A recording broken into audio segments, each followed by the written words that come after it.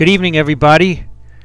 For the last two lectures of this course in virology, I want to tell you about two incidents which took place in the last few years with ha which have to do with viruses and which made it into the press big time. These were stories that were picked up by many, many newspapers, wire services, websites. There was a lot of controversy over both of them, and they engaged a lot of the public. And after having taken this course, you should be able to understand all of the science behind these. And my idea of presenting these to you is to get you ready for the future when you're gone from this course and you see a story like one of these, you'll be able to interpret it on your own. I'm sure that you'll be able to do that. So the first story is called XMRV. And this story begins with trying to understand what causes prostate cancer. There are two kinds of prostate cancer. There's sporadic prostate cancer, and this is associated with an age-related increase in prevalence as you get older. There are more people with sporadic uh, prostate cancer. And then there is familial prostate cancer. That is, it has a genetic determinant. This has an early onset, uh, typically less than 55 years of age. Uh, a number of studies in the past few years have suggested that a mutation in the gene encoding RNase L put people at increased risk for developing prostate cancer. Now you may remember that RNase L is an interferon-induced gene. It has antiviral activities. So when you're infected with a virus, it's sensed by the innate immune system and interferons are made and then interferons induce interferon stimulated genes of which RNase L is one. And again a particular variant R at amino acid 462 to glutamine appeared to, in certain people, lead to increased risk for prostate cancer. And the idea here is maybe this mutation, this amino acid change, this single amino acid change, decreases the catalytic activity of the enzyme, or which is an enzyme, of course, RNase L. It chops up RNA. That's how it's an antiviral protein. Um, maybe it's anti-apoptotic. So normally uh, this enzyme would drive apoptosis of tumor cells and this mutation is present, it might let them grow, and that could allow the prostate cancer to grow. Or maybe this suggested that a virus was involved and that having this mutation led to decreased ability to fight the viral infection. So with that in mind, the group decided to ask if there were any viruses in prostate tumors. Pretty straightforward question. And they, the way they did it was to use what's called a DNA microarray. Now a DNA microarray, uh, the main part of it are glass slides such, such as those shown here. And each of these little dots on the glass slide is actually a little bit of a DNA sequence, an oligonucleotide, in this case representing a virus. So you can these are these are placed on the on the glass slides by ro robots. You can see here a number of 96 well plates, each with a different viral DNA sequence. And again, these are oligonucleotides. They're short sequences. Uh, the robot prints them on the glass slide and then you can hybridize uh, the glass side with uh, material from where you might suspect there's a virus, in this case prostate, a prostate tumor. So what you would do is you would extract RNA from the prostate tumor, uh, you would copy it into DNA with reverse transcription, and in the process you would use one of the triphosphate that is labeled with a fluorescent dye, it could be green or red, uh, and then you hybridize that labeled cDNA to the DNA microarray. And you can imagine that if the material that you started with, the RNA from the tumor, if it contains viral sequences, they will hybridize to one or more of the spots on this uh, DNA chip. Alright, and you can read these by uh, automated instruments and tell if there's any positive samples. Now this particular illustration of a microarray is um, showing how you do it in a slightly different way. This is comparing uninfected and virus-infected cells, and you would make cDNA with two colored dyes, and then you could see uh, the difference in the two but we're not doing that here. We're simply hybridizing prostate tumor RNA, which is converted to DNA, to a DNA microarray, a DNA microarray that composed that is composed of viral sequences, and this is called the ViroChip. It is a a slide just like the one I showed you in the previous slide, a glass slide, covered with many many dots. And in this ViroChip at the time, they had the most conserved sequences of about 950 viruses. And they took RNA from tumor tissue prostate tumor tissue. And these came from the Cleveland Clinic. There were 19 samples from 19 different men. Uh, RNA was extracted, was fluorescently labeled as it was converted to cDNA, and then hybridized to this ViroChip. And here's what they found. So when you do these ViroChips, you can display uh, all this this dark bar on the left is the entire slide, if you will and here are areas of the slide where the uh, the prostate tumor cDNA hybridized to viral sequences and they're represented here as bands they're not actually dots you can see quite a few of them hybridized and showed up as bands. And here are the, the patient samples on the bottom. They're called VP and uh, note VP62 it turns out that these were retroviral sequences. And in fact um, when this was subjected to PCR for a specific gene of retroviruses, the GAG gene, which you may recall, you can see uh, these samples, 1, 2, 3, 4, 5, 6, 7, 8 samples in this gel had uh, a positive signal for the GAG sequence. So eventually they uh, they found that there was a positive signal, and it turns out that it was a gamma retrovirus, and we'll talk about what that is in a moment, in 7 out of 11 tumors homozygous for this RNA cell variant. No positive signal in three tumors from heterozygotes and one uh, in the wild type, in a wild type uh, background, a tumor from a person that had no mutation in RNA cell. So from this it looked like this RNA cell mutation was important for uh, maybe allowing this virus to infect the tumor. Who knows? So they cloned from one of these patients, VP62, uh, the full-length viral genome. And you can see it shown here. And it turns out it is a retrovirus, as I said. And it has a GAG, Pol, and envelope genes, just like simple retroviruses do. Uh, remember, it has an R and U5 at one end and a U3 and R at the other end. If this were a, this is a sequence, of course, of the viral RNA. If this were proviral DNA, would have LTRs at either end. And comparison of uh, this sequence with other retroviruses showed that it was very close to retroviruses in mice. In particular, murine leukemia viruses and endogenous retroviruses of mice, that is, those viruses that are present in mice, uh, in the uh, germline as proviruses. So this was called XMRV, and they had an isolate from two different patients, uh, VP42 and VP62.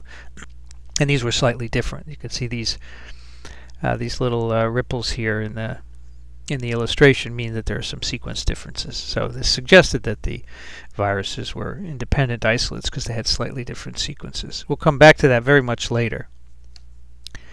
So the sequence of this uh, new virus, which was called XMRV, is aligned here next to a variety of other uh, mouse retroviral sequences. You can see here the patient samples, three of them here.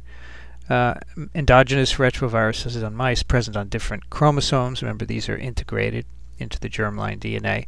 Uh, and these are quite similar. As you can see here, uh, they're also similar to other uh, murine retroviruses, but not so similar to feline, gibbon ape, and koala retroviruses. So it looked like this virus is somehow related to a virus from mice. Now they took sections of the prostate tumors and they hybridized them with a nucleic acid probe against this XMRV. And you can see in these darker panels here, the, the green dots are where the um, the probe is hybridizing to the cells in the prostate tumor section. Uh, and this particular cell right here, which is positive, is the one on panel A with the arrow pointing to it. And there's another one in uh, panel B you can see here and another one in panel C. So scattered cells throughout the sections. These are stromal fibroblasts. This is not the tumor cell itself, but these are stromal fibroblasts that are next to the tumor. So it's kind of strange that there were retroviral sequences, XMRV sequences in the tumor, but not actually in the cancer cells themselves. They then also did a histochemistry analysis where they took sections of the tumors and incubated them with a monoclonal antibody against the GAG protein of a, a, a, a virus which is closely related to a variety of different mouse retroviruses. It's called spleen focus forming virus. And this antibody was known to react with lots of different mouse retrovirus strains. And you can see it's it's detecting protein in these prostate tumor samples. So the suggestion here is that the genome is in certain cells near the tumors and then and the viral proteins are there as well. So from this study the conclusions are that this new retrovirus, XMRV, XMRV stands for xenotropic murine leukemia virus related virus because it is a, a xenotropic virus. We'll talk about what that means in a moment, related to other murine leukemia viruses. Um, no mouse sequences were detected in these prostate tumor samples by PCR for a cellular uh, gene. The infection appeared to be restricted to samples with this RNA cell genotype, or we should say the the XMRV was detected in these samples. There were polymorphisms found in our XMRV from different patients suggesting independent infections. Uh, viral nucleic acids and antigens were detected in stromal fibroblasts. So this was the first example, maybe, of human infection with xenotropic murine leukemia virus-like virus. So this was a novel virus not seen before. And here's the paper that came from this study, identification of a novel gamma retrovirus in prostate tumors of patients homozygous for R462Q RNA cell variant. This came mainly from uh, a number of different laboratories, um, Don Ganem, Bob Silverman, and Joe DeRisi, and this was published in March 2006. A couple of questions immediately arose First of all, there's no oncogene in XMRV. We could tell that by sequencing the genome. The genome is so if there's no oncogene, how would it transform cells? First of all, there are other ways, but it wouldn't it wouldn't be by an oncogenic mechanism carrying an oncogene. It was strange that the genome was found in stromal cells and not the carcinoma cells themselves. And remember, these data don't prove the link of the virus with prostate cancer. They just show that there is association. And one of the first questions that was asked is, what is the source of this virus? How did these people get XMRV in their prostate tumors? So let's refresh ourselves uh, with retroviruses. The family Retroviridae uh, has a number of genera in it. We have talked about uh, lentiviruses, HIV1 and 2. We've talked briefly about delta retroviruses, HTLV1, 2, and 3. And here are the gamma retroviruses. These are rather simple looking retroviruses, enveloped, of course, with glycoproteins in the envelope, uh, and two pieces of uh, two RNA genomes of positive polarity inside, along with reverse transcriptase uh, and integrase. Uh, eventually, the virus was recovered from cultured cells by transfecting them with a complete DNA copy of the viral genome, which was constructed from the sequences obtained from the prostate tumor. And this is an electron micrograph of these virus particles. They look like typical, typical uh, murine retroviruses. So what are gamma retroviruses? We really haven't talked about them at all in this course. They are simple retroviruses, as I've said. They have only GAG, POL, and envelope genes. And that's in contrast to the complex retroviruses like HIV that have a lot of other genes as well. These gamma retroviruses are widespread in nature. They infect a number of different mammals. The koala retrovirus, for example, is a gamma retrovirus, and birds and reptiles as well. They can be spread among animals as exogenous viruses, but they can also enter the germline. The provirus can be in the germline of animals and be spread as what we call endogenous viruses.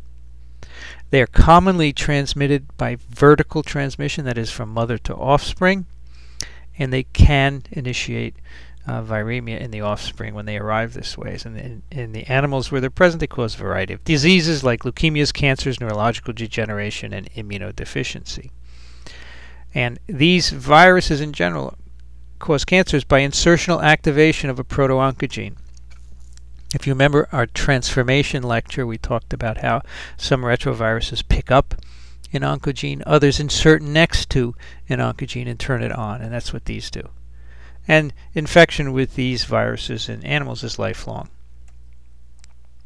There are four kinds of endogenous murine leukemia viruses. These are retroviruses integrated into the germline of mice.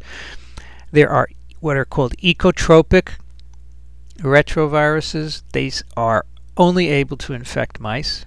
So the mice have the provirus in them. Here's just a diagram of the provirus with the two LTRs. This would be integrated into the germline of these animals. Uh, ecotropic viruses only infect mice. Xenotropic viruses cannot infect the mice. They infect other species, and that is what XMRV. It's a xenotropic virus. The mice that produce it, or that produce related viruses, because as far as we know, XMRV isn't in mice as yet in this story. Uh, it doesn't infect the mice. Uh, polytropic viruses infect most species. So that's what xenotropic means. It doesn't infect the mouse that produces it. Xenotropic uh, murine leukemia viruses were discovered in the 1970s from a certain strain of mice, uh, and it was found that these viruses, strangely enough, could replicate in rat or human cells, but not in mice, hence xeno, xenotropic virus. They're inherited as proviruses in all inbred mice. There are 10 to 20 copies in the genome of these mice. The receptor for the virus is a protein called XPR1. And interestingly, the mouse gene is mutated. So it can't be used as a receptor. That's why these mice cannot be infected by xenotropic viruses.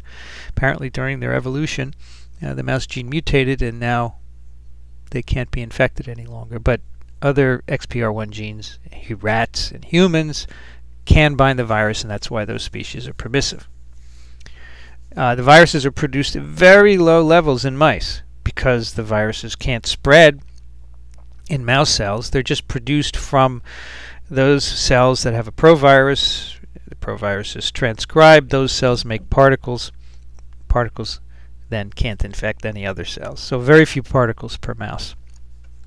However, it's been found many years ago that if you put human cells in a mouse, which you often do to study tumors, you inject them, the cells in a mouse and they can take and grow in the mice and then you can take them out and pass them. This almost always rescues xenotropic viruses from the mouse genome. So these viruses again are produced in small numbers by the mice. They can't infect the mice, but if you stick human cells into the mice, those viruses will infect the human cells and make a lot of other viruses because they replicate really well in the human cells.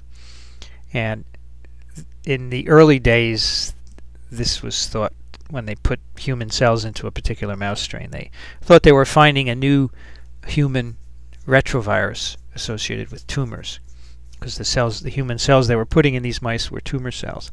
It turned out not to be true. It turned out to be the virus being recovered from the mouse, the xenotropic um, murine retrovirus. And so these were called rumor viruses. So where did XMRV come from? So these again, this XMRV is highly related to xenotropic murine leukemia viruses, which we've just finished talking about. So the implication is it's a fairly recent cross-species transfer from mice, so a zoonotic infection from mice to people. So if that's true, an interesting question is, do you find this virus in any lab mice? What was done was to develop a PCR probe to, to detect specifically XMRV. And this was used to do PCR on DNA from many, many different mouse strains. And as I said before, inbred mice contain about 10 or 20 xenotropic proviruses. These are xenotropic murine leukemia viruses. They're related to XMRV, but they are not XMRV.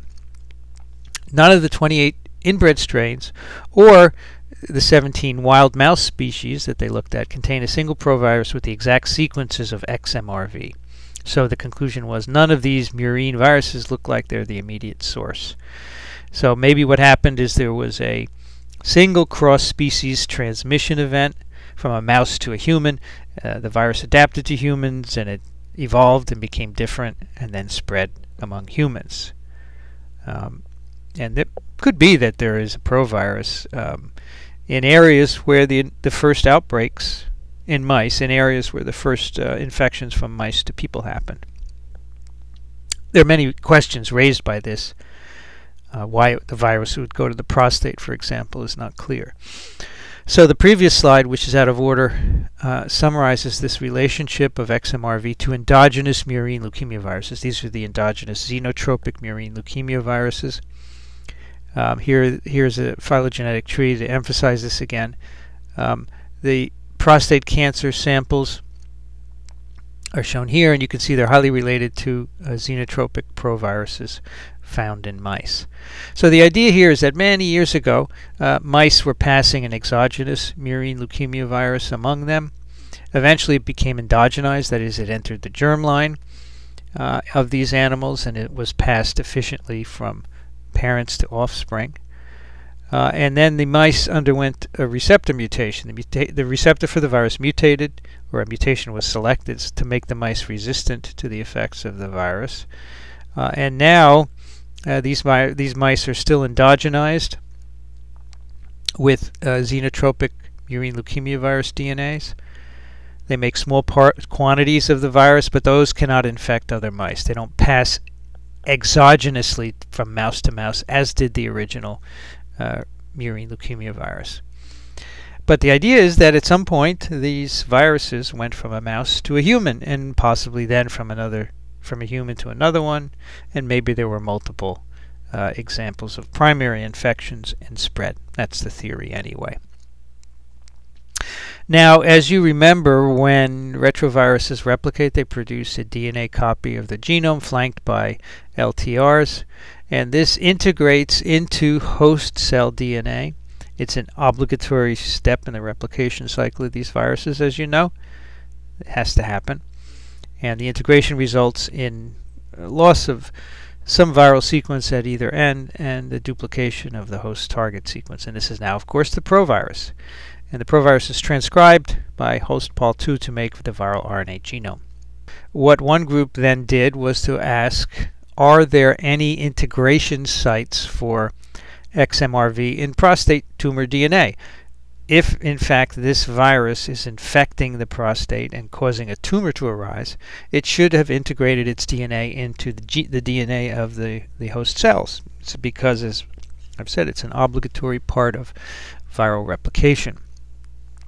So in this study, uh, published in October 2008, it's called Integration Site Preference of Xenotropic Murine Leukemia Virus-Related Virus and New Human Retrovirus Associated with Prostate Cancer. What they did is they cloned out 14 integration sites from nine patient tumors, and they could sequence these and see what genes were next to where XMRV had integrated, and they found there's no integration near oncogenes or tumor suppressor genes. So it was kind of strange that these are there's no oncogene in this virus, and they're not integrating next to an oncogene. So third possibility is, of course, that they produce transactivating proteins that transform the cells. But the examination of the genome sequence didn't reveal any such proteins. So this was a puzzle. Nevertheless, they did identify integration sites. Here are some on three different uh, human chromosomes. Uh, you can see here is a a schematic of how XMRV has integrated next to this particular gene called CREB5. And if you sequence the junction of XMRV with human DNA, you can identify where the virus ends, the end of the U5, and human genomic DNA. And you can do that for all these three integration sites. Here's a, a gene called NFAT-C3, and XMRV is integrated right into it. And it's also integrated into another gene here. Uh, right away, many labs began to ask what is the prevalence of this virus in prostate cancer. And laboratories all over the world got involved with this. Here's one from Germany. Uh, and they looked in sporadic prostate cancer and they found XMRV eh, by PCR in just one out of 105 tissue samples from non-familial, that is sporadic prostate cancer. But they also found it in one out of 70 tissue samples from men without prostate cancer. So this was very rare and didn't suggest that this virus would be causing prostate cancer. And it was very strange that it was also present in control samples as well. Here's another study uh, from New York in Salt Lake City. XMRV is present in malignant prostatic epithelium and is associated with prostate cancer, especially high-grade tumors. So in this study, they analyzed 233 prostate tumor sections and 101 benign controls. They found XMRV DNA in 14 of the tumors, 6.2%, and in two of the controls, 2%. So again, we're finding the DNA in controls. They found protein in 23% of the tumors and 4% of the, of the controls. They made an antibody to the virus and used that to stain the tissues, and that's how they got these numbers. And they found in this study that the staining is predominantly in the malignant cells in the tumor, not in the uh, stromal fibroblasts as found in the previous study, but in the actual tumor cells themselves. So this may this study uh, was very interesting. It suggested that, in fact, there was a real association between this uh, XMRV and prostate cancer, although we still had this positivity in the controls, which was puzzling. Here's just an example of one of the uh, stains that they did. This is a section of one of the prostate tumors, and uh, it's hybridized with an antibody, and the brown staining shows where the antibody is binding. And you can see these brown cells here in the center, this is the malignant glandular epithelium. These are the tumor cells that are staining for uh, viral XMRV, viral antigen. Here's another study uh, from Germany. Lack of evidence for xenotropic murine leukemia virus related virus in German prostate cancer patients. They looked at 589 prostate tumor samples and 146 serum samples from prostate tumor patients. No uh, XMRV nucleic acid or antibodies were detected by ELISA. And eventually there were many, many other studies done, and they're all summarized on this chart. And the number of uh, cases that were looked at, prostate cancer cases, you can see here, looked at the percent that were positive, um, and when they had controls, the percent positive in the controls. So you can see in the original study, 10.5% positive. Uh, 1%, 1% positive here, 6.2, but always some positivity, or often positivity in the controls. Some studies didn't find any. Some found some, and some found none. But strikingly, often some in the controls as well. So not a consistent picture of the involvement of this one virus in prostate cancer. You would have to say that if it were involved at all, it would not have to be the only agent that was causing the tumor. While this work was going on, uh, the laboratory of Dusty Miller made a very interesting finding, and they published it in this paper in July 2009. It's called Multiple Integrated Copies and High-Level Production of the Human Retrovirus XMRV from 22RV1 prostate carcinoma cells. So this is a cell line. It's called 22RV1. It's made from a prostate tumor. And they found that this prostate cancer cell line made XMRV. The way the cell line is made was to take a human prostate tumor and inject it into nude mice. And nude mice don't have an immune system, and so they won't reject the tumor. And they provide a nice environment for the tumor to grow. It will grow to a substantial size in the mice. You can then take it out and pass it to another mouse, and eventually you can then place it in culture and it will grow. It will have obtained the ability to grow in culture. So this cell line made in this way produced a virus that had a sequence nearly identical to XMRV from prostate tumors.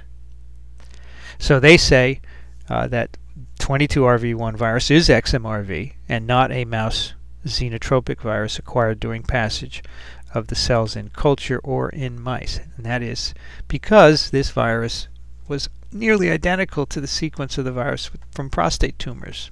now, the second part of this story has to do with chronic fatigue syndrome. And in October of 2009, this paper was published in Science.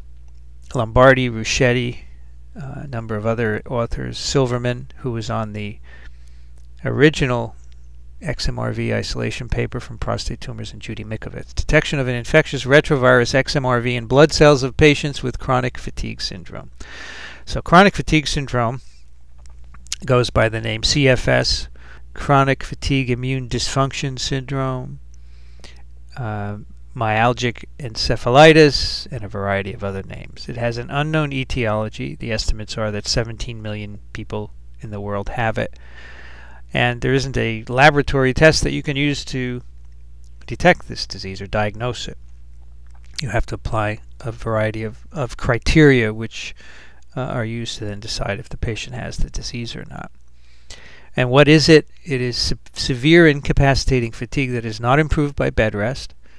Uh, the symptoms have to last for at least six months. You have to have difficulty sleeping, problem with concentration, short-term memory, joint pain, muscle pain, tender lymph nodes, sore throat, headache are some of the symptoms. Uh, in particular, post-exertional malaise, when you exercise, you get very tired afterwards. A quarter of the patients with this disease are fully disabled, and there are also patterns of relapse and remission. You get better, and you get worse, you get better, and you get worse. Uh, in these patients, there also appears to be a chronic low-grade Im immune upregulation. They, they appear to be responding uh, their immune system is responding continuously. Their NK cells don't function well. There are CNS uh, abnormalities. Um, there are problems with energy metabolism genes.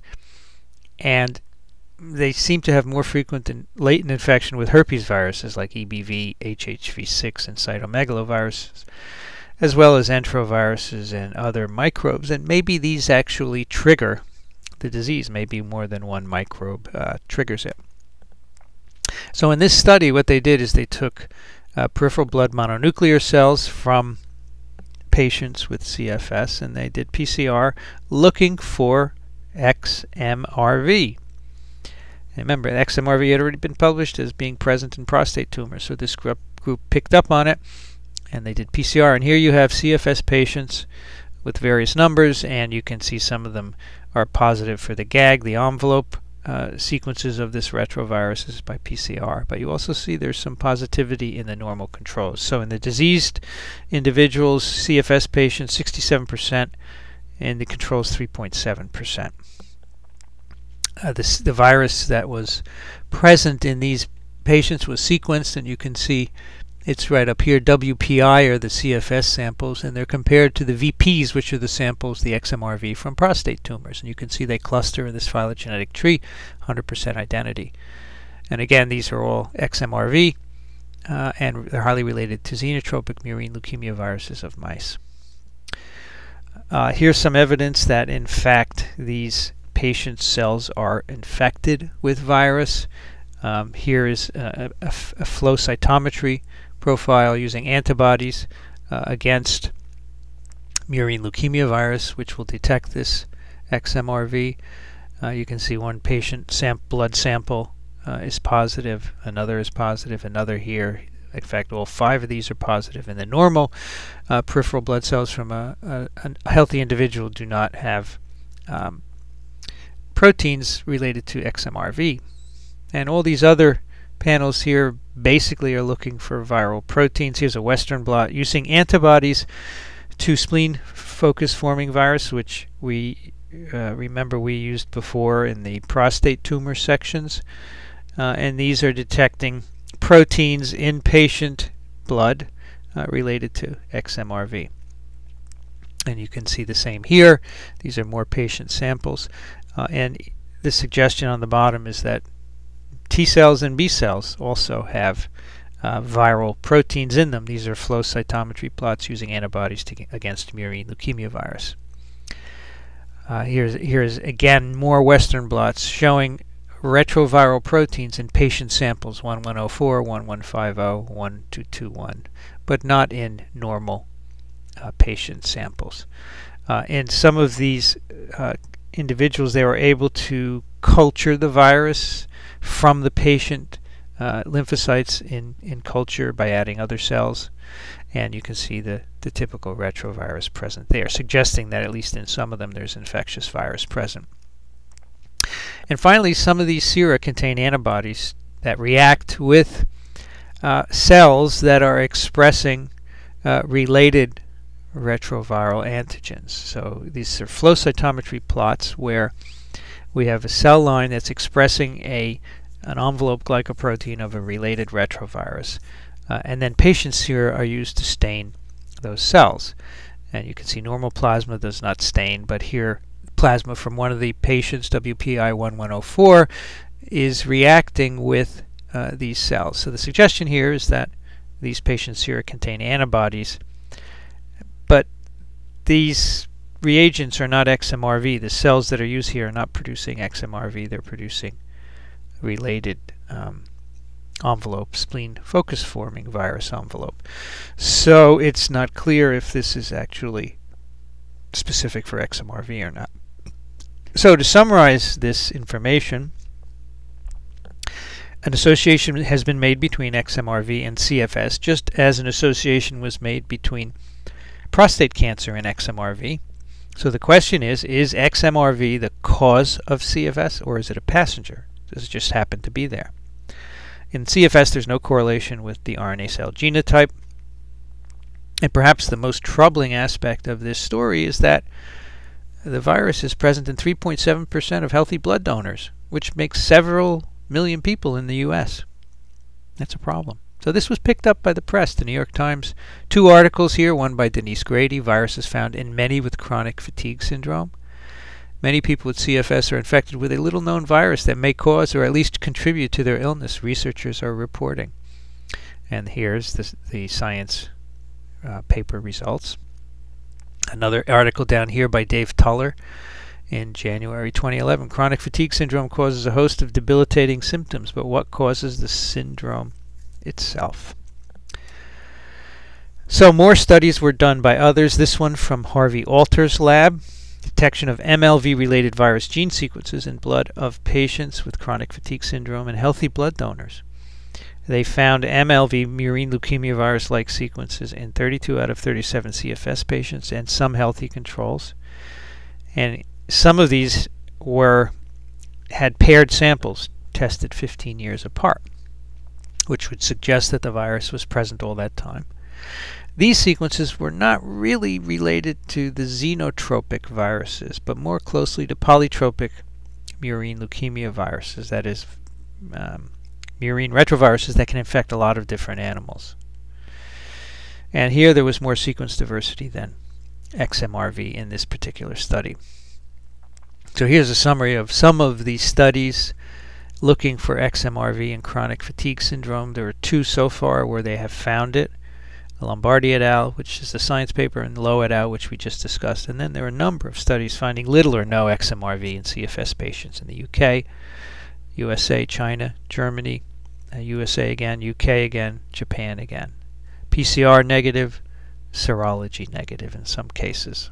So just like the prostate cancer story, it was not looking good. Now the accusations began flying. The people who had detected the virus in CFS patients said to the others, you don't know how to do your assays properly. And this became a very, very messy situation. Uh, this paper was published in PLOS One in April of 2010, which said that a an, in, an inhibitor of retroviruses, raltegravir, which is in fact an integrase inhibitor, it's used to treat AIDS patients, also inhibits XMRV. It inhibits its replication in culture. Uh, and they also looked at other antiviral drugs that were used for, for uh, retroviruses. Uh, reverse transcriptase inhibitors worked, and integration inhibitors, raltegravir and another one. Now, this was picked up by the patient community, which is quite large in the U.S. and quite vocal, being frustrated that there has not been a cure for this disease for many years. And some of these individuals began to seek physicians who would treat them with these antiretrovirals. And this really started a very sordid part of the history of this virus because not really clear that the virus is causing the disease, yet people were so frustrated that they tried to find people who would treat them with these anti-HIV drugs. And uh, again, this got quite nasty on the internet. Then a series of papers came out that suggested that something was really amiss here. And this first one, published in February 2011 from Myra McClure and John Coffin, mouse DNA contamination in human tissue tested for XMRV. Uh, a study in the UK was done, which was done in, as part of this study, found XMRV by PCR in 4.8% of prostate cancers, but all of these positive samples were also positive for mouse DNA. In other words, they were contaminated with mouse DNA. And 21% of the negative samples were also positive for mouse DNA. The implication is that mouse DNA is everywhere.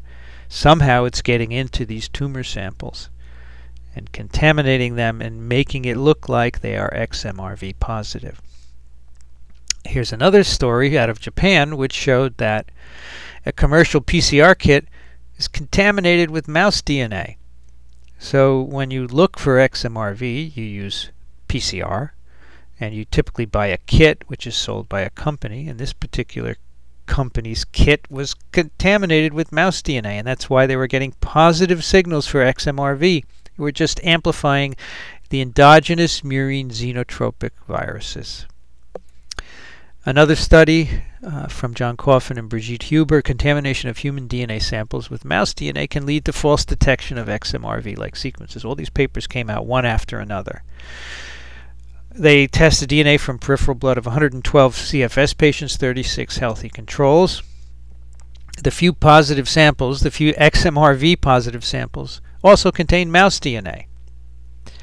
And John Coffin, who was one of the authors on this study, uh, made the analogy that PCR can detect XMRV if one drop of mouse blood is added to a swimming pool and then you took out a mill of water and did PCR on it. You could find the XMRV related sequences in the mouse. Remember, XMRV is highly related to xenotropic murine leukemia viruses found in mice. So if you contaminate your sample with mouse DNA, it's going to look like it has XMRV in it. And John Coffin began to give talks and he said mice are everywhere. And he showed pictures of laboratories where at night the mice would crawl over the benches. And he said who knows what chemicals they're getting into and contaminating them with their DNA and he made a very interesting movie which you should check out. Uh, he, uh, he he gave a talk at a at a meeting and he said this is why I don't sleep well at night because I think well, this is mouse DNA contamination uh, another paper in the same series from Greg Towers, disease-associated XMRV sequences are consistent with laboratory contamination. He also found that mouse DNA can contaminate patient samples. He found that the genetic variation in the XMRV recovered from this cell line, 22RV1, exceeds that of all the human XMRV isolates. So there's a cell line growing in the lab, which we said before makes XMRV. He sequenced a bunch of isolates and got more variation in the sequence than all the human isolates. He said, this is not infection, this is contamination, a single source contamination, probably mouse DNA. Greg Towers also went back and looked at the studies of XMRV integration sites from human prostate cancer tissues that we talked about before. And he concluded that these are all contamination rather than genuine human infection.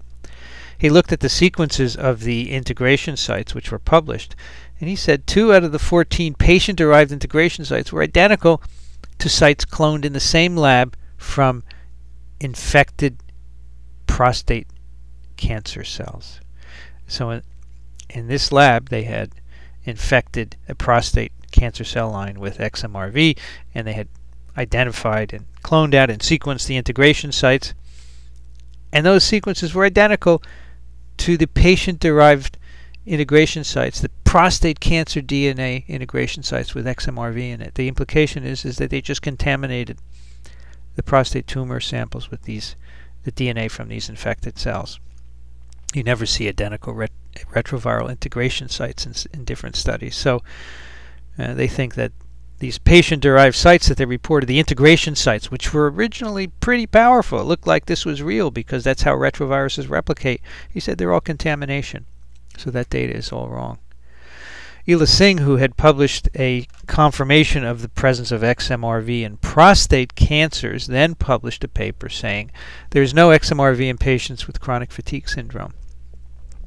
She did a large study with a large number of patients and found no evidence for um, XMRV in these individuals. And here's the paper published. Now, I wrote a blog post on this on the May 4th, 2011. And I've kind of given you a hint that this was a contentious issue. Again, there are lots of patients out there who want a cure for CFS, and they're very active on blogs and discussion groups, email, etc. Look at how many comments were on this blog post. This is the most I've ever had for one blog post. Most of them are arguing with this result, saying it can't be true, it's a cover up, it's a conspiracy. You might want to go and check it out just to see the kind of fervor that was generated by this whole situation. These individuals who were sick wanted to know the cause of their disease, and they were in some ways willing to overlook what turns out to be not so good science in order to, to help them. Finally, a paper came out in Science in 2011. The title was Recombinant Origin of the Retrovirus XMRV. Uh, here are the authors, and you can see on this paper John Coffin is one of them who had been very vocally insisting that you better be careful about contamination with mouse DNA. Now what is shown here is the history of uh, some cell lines that were produced by passage of a prostate tumor, a human prostate tumor in nude mice. And as I pointed out earlier, the way you make a cell line from such prostate tumors or any other tumors, in fact, is you inject them into nude mice. Here's a nude mouse. It has no hair, but it also has no immune system. And when you put these prostate cancer cells in, this is called a xenograft. You're putting it into a different species. The tumor will grow in the mouse. You can then take it out and pass it from mouse to mouse. And at some point, you can get it to grow in culture. And a cell line called 22RV1, remember that? That makes XMRV. That was made by passing uh, a human prostate cancer xenograft called CWR22 Case Western Reserve 22 in nude mice. These investigators got samples of the original xenograft and they figured out what nude mouse strain was being used. They got some of the early passages of uh, the tumor in mice. They got some late xenografts and then of course they had the two cell lines produced uh, at the end which turned out to produce XMRV. Now it was only late in the game that anyone figured out that these cell lines made virus. So these cell lines were established in 1999, and it wasn't until a few years after XMRV was discovered in 2006 that people discovered that these cells were making virus. So imagine these cells are present in laboratories for many years and no one knows they're infected. Can you imagine how much contamination can result from that? Just just keep that in your head. So what these individuals found was that the nude mouse, in fact, contains two partial proviruses, two integrated copies of XMRV, which they called XMRV1 and XMRV2. Neither one is a complete form of XMRV. One is half and the other is the other half. The early xenografts have pre-XMRV1 and 2, but the late xenografts have those two plus they have, these are XMRV positive. They make virus. And then the cell lines have make XMRV as well. So the implication is that XMRV sequences existed in this nude mouse originally as two proviruses, both of which were defective. By putting human cells into the nude mouse, we then rescued these two defective proviruses. They recombined and made XMRV. So by passage of human cells in the nude mice, we produced XMRV. That XMRV was then produced by the prostate tumor cell line and eventually somehow made its way contaminated samples of all sorts. They contaminated the prostate tumor samples and they contaminated the chronic fatigue syndrome samples. So here's a diagram which shows you pre-XMRV1 and pre-XMRV2. So these are two proviruses that are present in the nude mice. Neither one makes XMRV. Neither one is, is they're both defective. The green parts are the parts that are homologous to XMRV as identified in the prostate cancer and the CFS studies. These two proviruses were combined from here to here to here to here and here. So several crossovers to form a virus which is virtually identical in sequence to XMRV. So that's all the green sequences. So again, these two are present in nude mice. They don't make virus, but when you start passing human cells through them, you rescue an infectious virus out of this, which is basically XMRV. So XMRV is a virus made in mice in the laboratory by passing human cells through it. So it's not likely that this virus could cause human disease, and soon the studies came out to prove that. The first uh, published in Science, failure to confirm XMRV in the blood of patients with chronic fatigue syndrome. This was a collaboration between many labs, uh, many of which were on the original Science paper. Uh, Judy Mikovits, um, and um, the Alter Group, which published the second paper, can see John Coffin here as well. Frank Ruscetti was on the original science paper.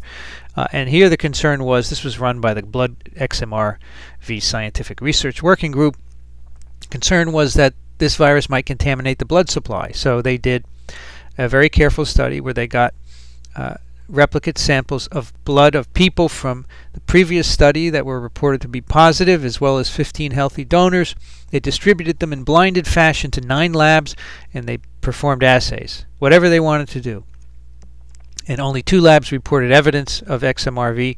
However, replicate samples showed disagreement and reactivity was similar among subjects and negative controls. So these results indicate that assays do not reproducibly detect XMRV, and blood donor screening is not warranted.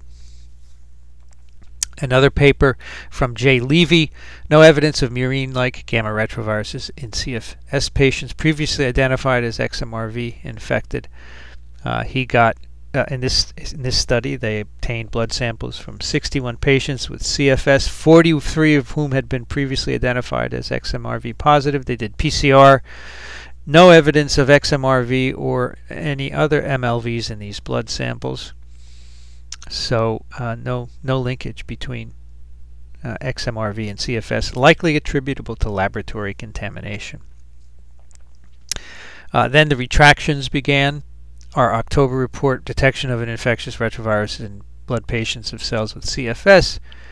Two of the co-authors analyzed DNA samples. Uh, a re-examination of the samples they used shows that some of the cell DNA preparations are contaminated with XMRV plasmid DNA. So they retract part of the paper that has the results from these experiments. And what was left was really not much of a paper at all. It should have been completely retracted, but it wasn't yet at this point. Here's a retraction by Science, a full retraction of the CFS XMRV paper. Science is fully retracting the report detection of an infectious retrovirus in blood cells of patients with CFS. And the reasons are that multiple labs have failed to do this. The authors wouldn't um, retract the paper fully themselves, so the editor-in-chief of the journal did it himself. And this, of course, was reported in the New York Times. Here's an article by Dave Tuller in December 2011. Fatigue syndrome study is retracted by the journal. Here's a retraction of the low alter paper, the PNS paper showing detection of MLV-related virus gene sequences in blood patients, and they basically say we couldn't repeat these results, uh, and um, we think it's it's it's not right, so we're retracting it. While those retractions were going on, um, something more sordid was happening. It turned out that one of the figures in the original science paper linking XMRV with CFS had been uh, altered. So in the original science paper, uh, this Western blot was shown indicating that patient uh, PBMCs had proteins that reacted on a Western blot with antibodies to uh, a murine leukemia virus. However, it turns out uh, that these um, lanes were not what they were, were supposed to be in the science paper. These are supposedly patient samples here, but in another panel presented at a scientific meeting, Uh, you can see the same pattern of reactivity here. Uh, and these are actually different patient numbers, and they're treated with 5-azacitidine, uh, which is one way you can get retroviruses to replicate. Uh, and here's the original Western blot, which was pulled out of the PowerPoint presentation. Uh, and you can see that the science paper labeling is different. So there was something funny going on here. There was clearly alteration of data. Um, and in the midst of this disagreement, one of the researchers on that science paper, Judy Mikovits, was fired uh, from her job at uh, the institute where she worked. And this was reported in the Chicago Tribune, discredited chronic fatigue researcher in California jail. Two years ago, researcher Judy Mikovits was riding high atop a wave of promise. In a stunning twist, Mikovits was arrested Friday and spent five days in a California jail cell. So she was since released uh, and Ian Lipkin did what now looks like a very smart thing. He got all of these investigators together and did a blinded analysis and said, we're going to give you uh, samples from patients who have CFS. It's going to be a rigorously characterized, geographically diverse population of patients, 147, 146 healthy subjects. They gave to the Mikovits group, Ruscetti, uh, Low, and Alter, uh, they gave them all of the samples and said, you do assays that you want and see if you can find XMRV. And none of the laboratories was able to find XMRV or polytropic murine leukemia virus in any of the CFS samples. And I did a podcast on This Week in Virology with Ian Lipkin, and we called it a paradigm for pathogen de-discovery. You might want to listen to it. Ian talks about how he set up this blinded analysis. And he said, you know, when people do things you don't believe, you can't tell them simply they're wrong. You have to engage them and get them to participate and do the experiment. And that turned out to be very smart because you got all these people to say, you're right, there's nothing there. And it's all laboratory contamination.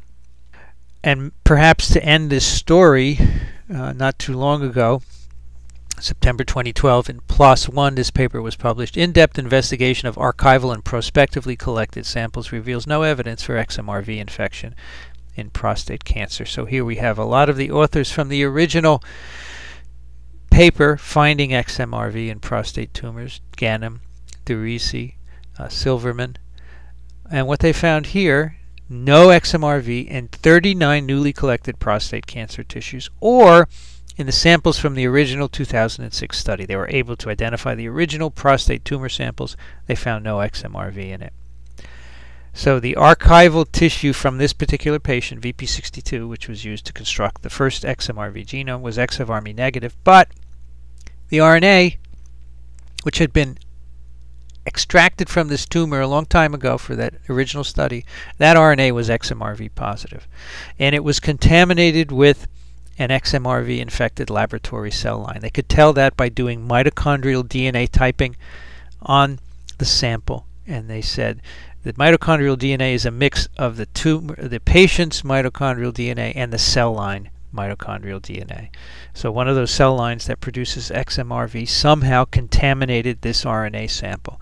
And that is where XMRV started from a contaminated RNA specimen in a laboratory somewhere, contaminated with uh, virus from a cell line. It's really easy to contaminate things. You have to be so careful.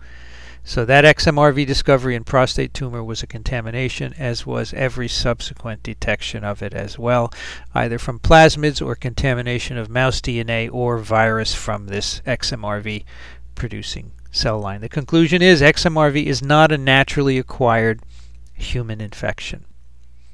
Several years, a number of years, well here we are September 2012, six years of false leads and frustrations, and now it's finally resolved. We, to this day, do not know what the etiology of chronic fatigue syndrome is. These patients are again left without knowing uh, what has caused their disease.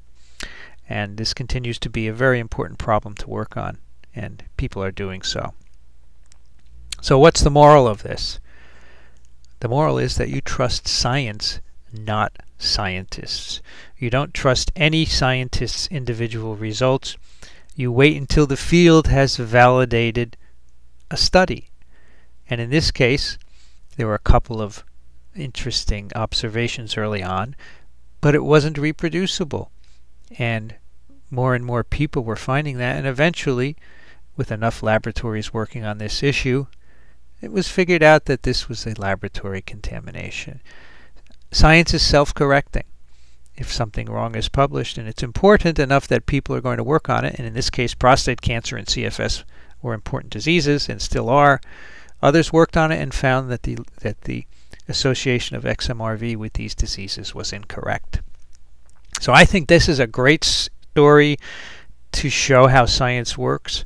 It's really instructive to show how you can have a result and eventually show that it's not wrong and that in the meanwhile if it's an important disease there's a lot of dissent surrounding it, a lot of contentiousness, a lot of accusation, a lot of strange things happening.